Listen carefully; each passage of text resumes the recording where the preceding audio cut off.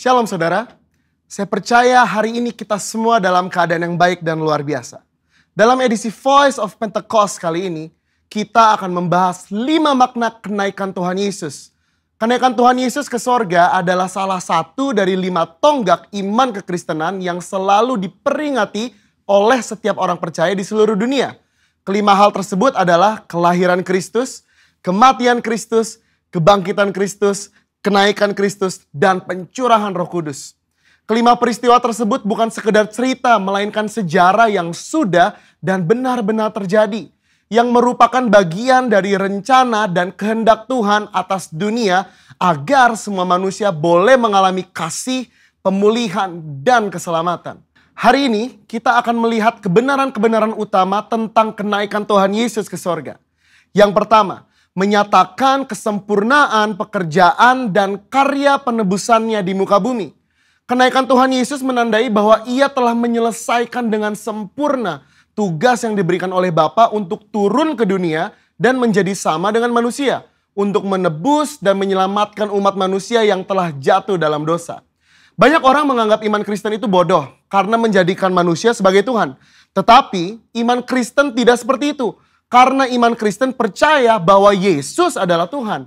Dia datang berinkarnasi menjadi manusia, lalu setelah kebangkitannya, dia kembali kepada kemuliaan keilahiannya. Yang kedua, menyediakan tempat yang kekal bagi orang percaya. Yohanes 14 ayat 2 mengatakan kenaikan Tuhan Yesus ke sorga adalah bukti bahwa sorga itu nyata dan bukan hanya sekedar fiktif belaka. Tuhan sudah menyediakan tempat bagi kita di sorga. Tetapi perlu dicatat bahwa tidak semua orang di dunia ini bisa masuk sorga.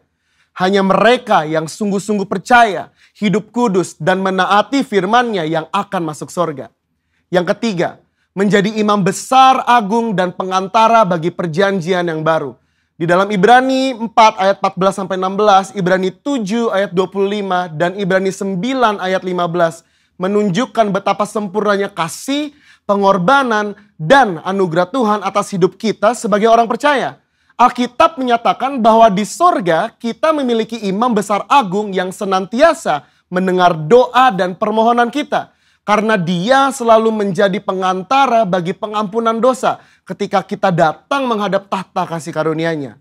Yang keempat, menyatakan kedatangannya yang kedua kali janji tentang kedatangan Kristus yang kedua kali diteguhkan kembali, bahkan dinyatakan dengan cara seperti apa Yesus akan datang kembali, yaitu turun dari langit seperti ia naik dan disaksikan oleh semua orang, terutama murid-muridnya. Hari-hari ini kita sedang menantikan janji itu digenapi oleh Tuhan.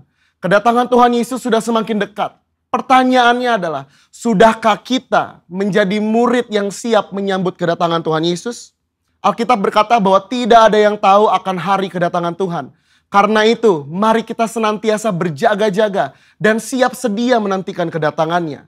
Yang kelima, mencurahkan roh kudus untuk menyertai orang percaya sampai kesudahan zaman. Tanpa kenaikan Yesus, tidak akan pernah ada peristiwa luar biasa yang dampaknya mengguncangkan dunia sampai saat ini. Yaitu peristiwa Pentakosta, pencurahan roh kudus semua ini telah dijanjikan Tuhan sebelum ia terangkat. Bahwa mereka akan menerima kuasa roh kudus untuk menjadi saksi Kristus dari Yerusalem, Yudea, Samaria, dan sampai ke ujung bumi. Tapi kuncinya Yesus harus naik ke sorga sehingga roh kudus turun. Kenaikan Yesus menunjukkan bahwa dimulainya satu era yang baru di mana Allah tidak hanya mengurapi orang-orang tertentu, tetapi Allah mau tinggal dan memenuhi setiap diri orang percaya untuk dipakainya sebagai alat bagi kemuliaannya. Kenaikan Yesus ke sorga menjadi jalan bagi tergenapinya kitab Yohanes 14 ayat 12 yang berkata, Aku berkata kepadamu, sesungguhnya barang siapa percaya kepadaku, ia akan melakukan juga pekerjaan-pekerjaan yang aku lakukan. Bahkan pekerjaan-pekerjaan yang lebih besar daripada itu. Sebab aku pergi kepada Bapa. Tuhan Yesus rindu untuk memakai setiap orang percaya. Dia ingin menyatakan kuasa dan kemuliaannya melalui kehidupan kita. Itu sebabnya dia harus naik ke sorga. Sehingga oleh karena karya roh kudus yang mengurapi, membaptis, dan memenuhi kita. Maka semua rencana dan kehendak Allah itu boleh terlaksana dan tergenapi. Sudahkah saudara dipenuhi roh kudus? Sudahkah saudara dibaptis oleh Roh Kudus dengan tanda awal berbahasa roh? Dan sudahkah saudara berjalan tiap hari dalam kuasanya? Karena untuk itu semua Tuhan Yesus naik ke surga. Saya percaya kita akan semakin sungguh-sungguh untuk menggenapi dan melaksanakan kehendak dan rencana Tuhan atas hidup kita. Saudara, untuk penjelasan lebih lanjut dari tim teologi kami, silakan klik link yang ada di atas atau scan QR code yang tersedia. Salam integritas. Tuhan Yesus memberkati.